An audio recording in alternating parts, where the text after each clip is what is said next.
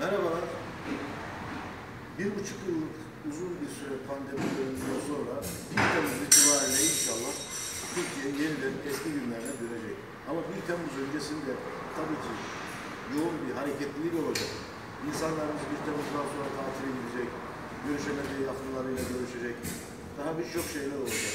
Ama hep uzun yollara çıkacağımız için özel araçlarımızla bizler de ne yapılması gerektiğiyle ilgili bu süreçte neler yapılmasıyla ilgili garaj otomatiğinde garaj otomatiği ustası Kadir Ceylan'la birlikte bunları sizlere aktaracağız. Sizlerin de ümit ediyoruz ki bunlardan ciddi anlamda fayda sağlayacaksınız. Evet. Kadir Usta. 1 Temmuz'dan sonra insanlar hareket edecek. Sizin tavsiyeleriniz neler? Öncelikle- Araçlardan neler yapsın?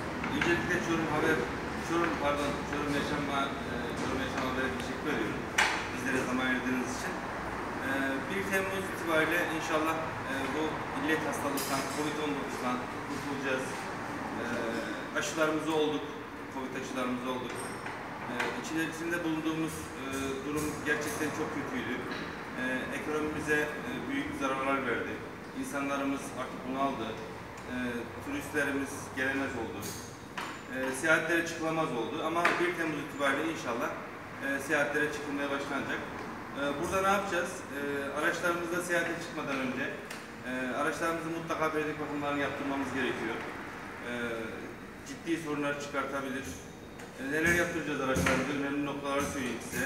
Araçlarımızın ön takımları, e, rotir, rot kollar, rot bağlantılar, direksiyon aksamları, motor yağları, filtreleri, bunların mutlaka bakımlarının yaptırılması gerekiyor. Lastikler çok önemli.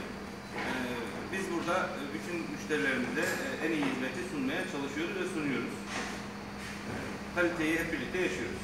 İnşallah. Hep birlikte bu tabii ki siz de uzun süre kapalı kaldınız. Evet. Sektör olarak.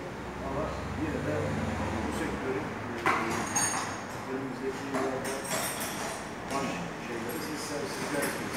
Onlara insanlar çok iyi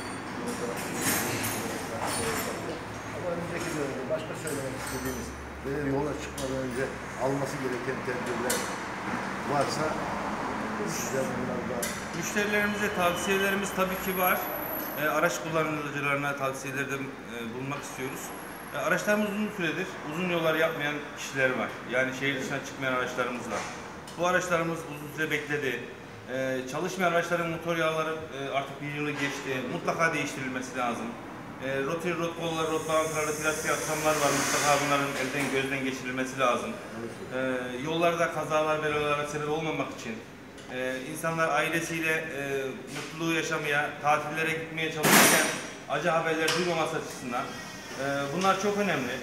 E, işin ehli ustalarına, e, işin ehli araçlarında tecrübeli kişilere mutlaka bakımlarını yaptırmaları lazım. E, dolayısıyla güvenli, sağlıklı, mutlu bir şekilde de tekrar e, memleketimize dönsünler. inşallah. İnşallah. Biz de sizlere bu röportajdan dolayı teşekkür ediyoruz. Bu bilgilendirmeden teşekkür ederiz. dolayı teşekkür ediyoruz. Vatandaşlarla bu şekilde bilgilendirmiş olduk.